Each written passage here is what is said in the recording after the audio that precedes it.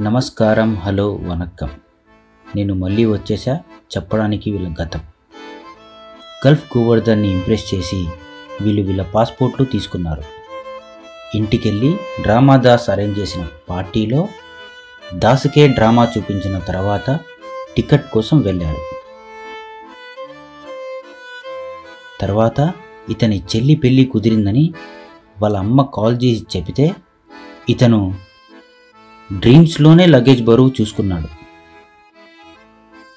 ఇతను పెద్దరికంగా కాల్ తీసుకొని బుక్ అయ్యాడు.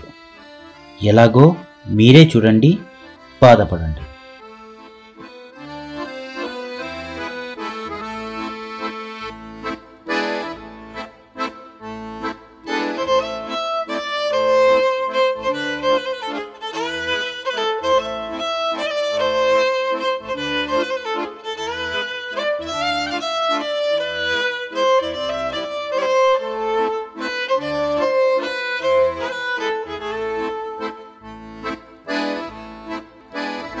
హలో అమ్మా. నువ్వు చెప్పేసావా వీడికి వచ్చేయమని? ఇంకా వీడు ఉండడు. ఎప్పుడు పిలుస్తావా అని ఉండేవాడు. అలా చెప్పకురా. ఇంటికి ఉన్నది వాడొక్కడే కదా. వాడు వచ్చేస్తే అప్పులు ఎలా తీరుతాయి? అదేంటమ్మా?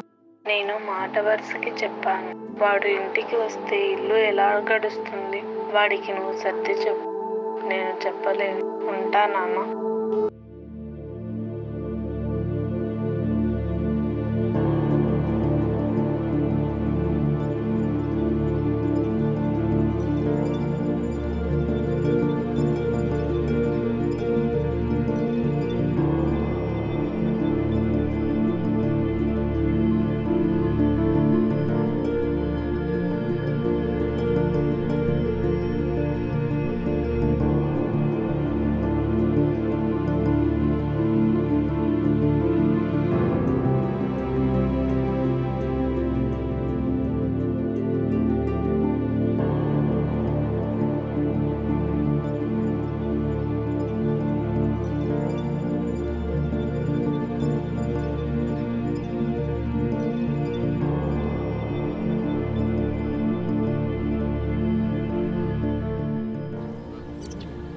రే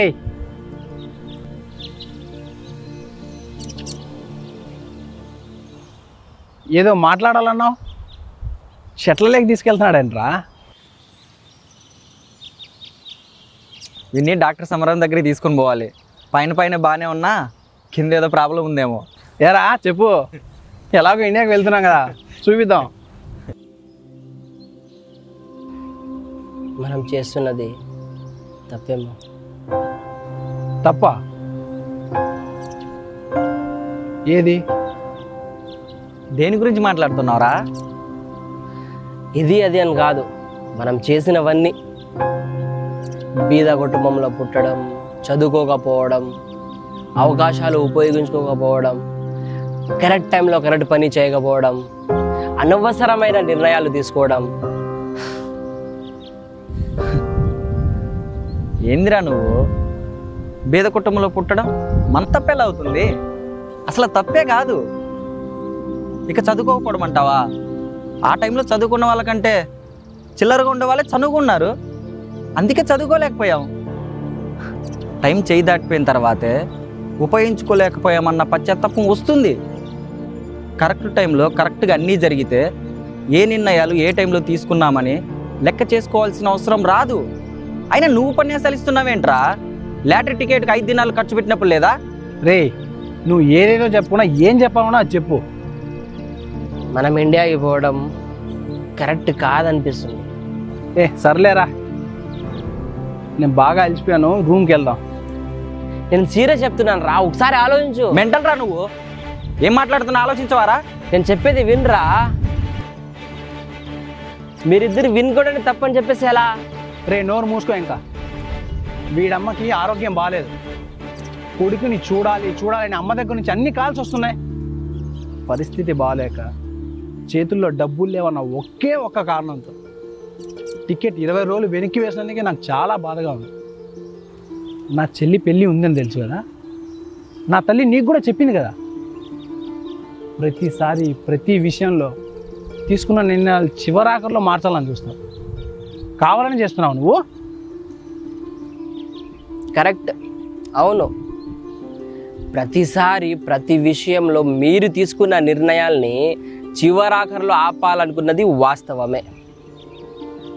దాదాపు మీరనుకున్న అన్ని విషయాల్లో అడ్డుపడ్డాను ఆపాలనుకున్నాను. మీరు అవి విని నా మొహం మీద నవ్విన రోజులు ఉన్నాయి నన్ను దూరం పెట్టిన రోజులు ఉన్నాయి నేను అవన్నీ పట్టించుకోకుండా మీరు ఎలా చెప్తే అలానే చేశాను.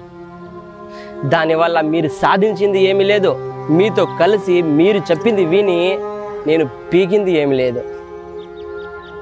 అంటే మై బ్రదర్స్ ఎన్నిసార్లు నేను ఆపాలనుకున్న విషయంలో ఏ ఒక్కటి మీరు వినింటే ఈరోజు మన జీవితాలు మారుండొచ్చు. కలాస్ పది సంవత్సరాల నుంచి పీకింది ఏం లేదని మాకు తెలుసు. ఇంకో పది సంవత్సరాలు ఉన్నా పీకేది ఏం లేదని మాకు తెలుసు. అందుకే ఇండియాకి పోతున్నాం. రే అమ్మకు ప్రాణం బాగాలేదని తెలిసి ఉండలేకపోతున్నాను రా దయచేసి ఆపద్దురా.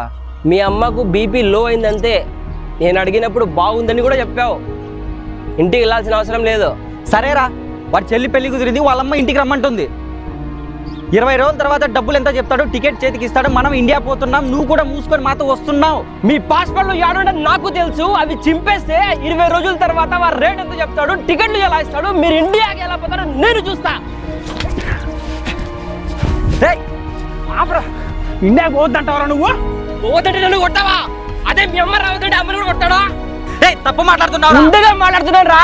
వాళ్ళ అమ్మ వాటితో మాట్లాడిన తర్వాత నాతో మాట్లాడేటప్పుడు వాళ్ళ అమ్మే చెప్పింది రావద్దని అడగమని ఫోన్ చేసి రే ఓవర్ మాట్లాడుతావు చంపేస్తా నువ్వు ఉండరా. రే నిజం చెప్పరా అలా చెప్పిందా? డే ఉండదే చెప్తున్నారు రా చేయమను. రే ఆగరా నువ్వు. నేను ఇప్పుడే ఫోన్ చేసి మాట్లాడారు అనుకుంటా.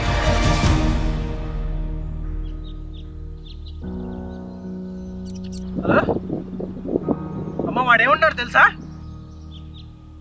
తెలుసు నాన్న. నీతో మాట్లాడేటప్పుడు నీ చెల్లి పక్కనే ఉండింది వాడితో పక్కకొచ్చి మాట్లాడ. అందుకే వాడికి చెప్ప. నీకు చెప్పమని. నా ఆలోచన మంచిదే కదా నాన్న? నువ్వేమంటావు? అవునమ్మా. నేను కూడా అలాగే అనుకున్నా. నేను మళ్ళీ మాట్లాడతామ్మా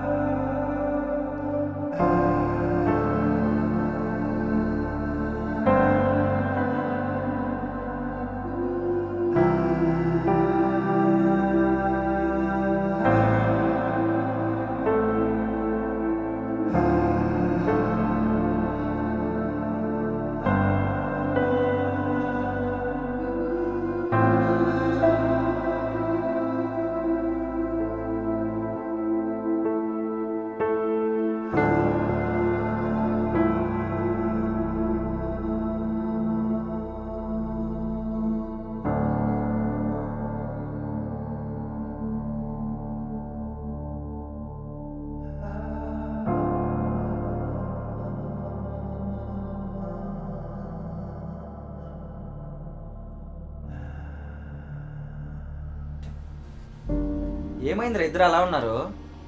అయిపోయింది అది అయిపోయింది కదా. వదిలేయండి ఇంకా.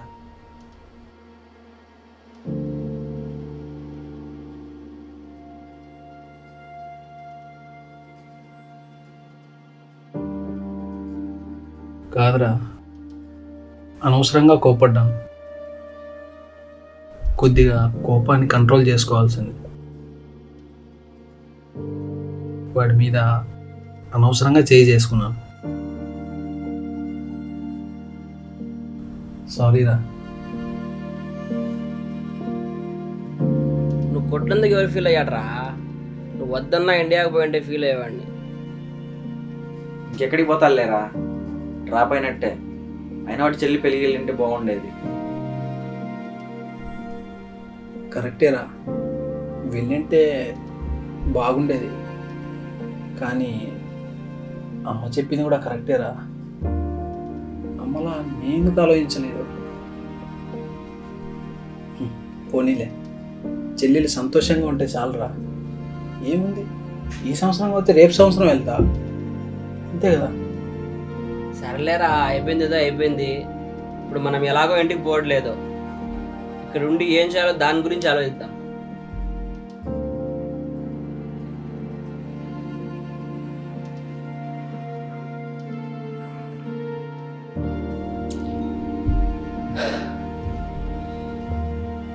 మీరు పోకపోయినా పర్లేదురా. కానీ నాకు అలా కాదు. నీ చెల్లి పెళ్ళి చూడకపోయినా పర్లేదు. నెక్స్ట్ ఇయర్ వెళ్ళి కలుస్తావు. నీకు మేం తప్ప ఎవరు లేరు. కానీ అమ్మకు పానం బాగాలేదని అప్పటి నుంచి ఉండలేకపోతున్నాను రా నేను వెళ్తే కొంచెం అన్న అమ్మకు రికవర్ అయిపోతుందని చిన్న ఆశరా. ఇరవై రోజుల తర్వాత టికెట్ ఎంతో చెప్తా అన్నాడు కదా. నేను వెళ్తాను రా. సారీ రేయ్ ఇరవై రోజులు ఆగడం దీనికిరా. మేము ఎలాగో వెళ్ళట్లేదుగా. మా దగ్గర డబ్బులు ఉన్నాయి రేపే టికెట్ బుక్ చేసుకొని బయలుదేరు. ఓకేనా? నేను ఫోన్ చేసి చెప్తాను.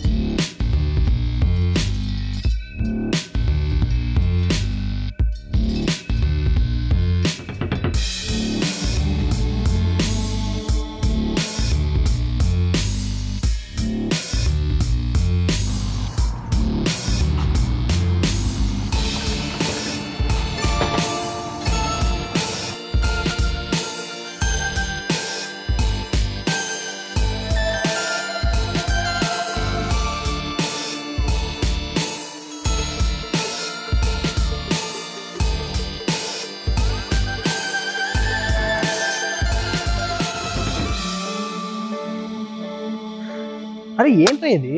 ముఖాలిఫరా మియా ఖలీఫానా? అరే ఫైను. నేను హవారియో అని ఎక్కడ రా ఫైన్ ఫైన్ అంటో? అరే జరిమామరా?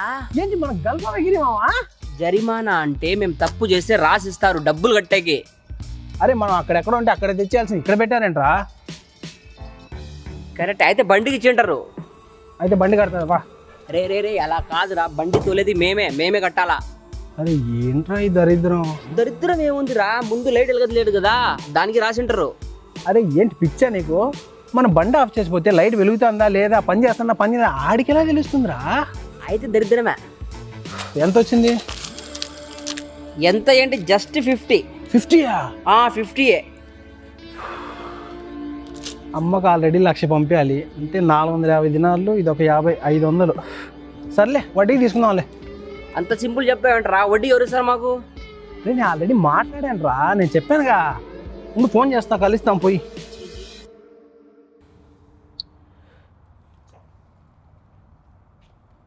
హలో? అన్నా నమస్తే అన్నా. అన్నా నేనన్నా? అన్నా. అదే అన్నా కొద్దిగా డబ్బు అడిగాను కదా అన్నా. అదే అన్న ఎక్కడున్నారన్నా? అన్నా ఇప్పుడు వచ్చేస్తాం అన్న. పది నిమిషాల్లో వచ్చేస్తాం అన్నా. అన్న. అన్న డైరెక్ట్ నీ దగ్గరికి వచ్చి మాట్లాడతా అన్నా. ఓకే అన్న వచ్చేస్తున్నాను ఓకే అన్న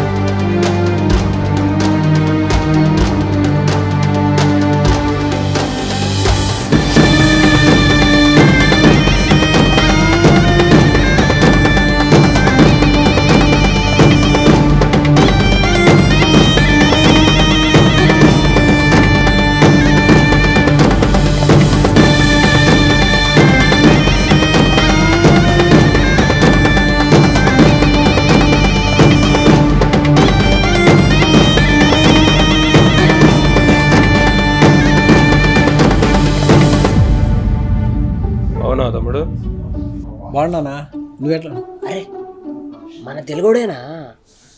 గెట్టప్పు చూసి కోయటం అనుకున్నా అచ్చం మా కోయటులకి ఉన్నావు ఆపరా. తమ్ముడు ఇది వాళ్ళ ఆచారం అంతే. మన పంచా పట్టుచురు ఎలాగో వాళ్ళకి ఇది అలాగా. మీరే సీరియస్గా తీసుకుంటారు. ఎవడైనా వేసుకోవచ్చు. టిక్ టాకులు కూడా చేసుకోవచ్చు. అవునా? మన తెలుగు పాటలు పాడితే టిక్ టాక్లో బాగా లైక్లు వస్తాయి. ఈవెంట్లకు పిలిపించి ముందు చేతిలో కూర్చోబెడతారు గిఫ్ట్లు కూడా ఇస్తారులేరా? అవును. అన్న ఇంపార్టెంట్ పని మీద వచ్చాం ఆ, చెప్పు చెప్పు తమ్ముడు ఏం కావాలి? అన్న అది నువ్వురా అన్న మనవాడు మొహమాటం పడుతున్నాడు కానీ ఓ లక్ష రూపాయలు వడ్డీ కావాలన్నా. అంతేనా? వడ్డీగా? అవునన్నా చెల్లికి పెళ్ళి కుదిరిందన్న. ఇంటికి డబ్బు పంపించాలి. చెల్లి పెళ్ళి ఎలా ఎలా చేయాలి కదన్నా నీకా వడ్డీకి డబ్బులు ఇవ్వలేను మనోడు అయిపోయా ఊరికి ఇస్తామంటే నువ్వు తీసుకోవు. సరే.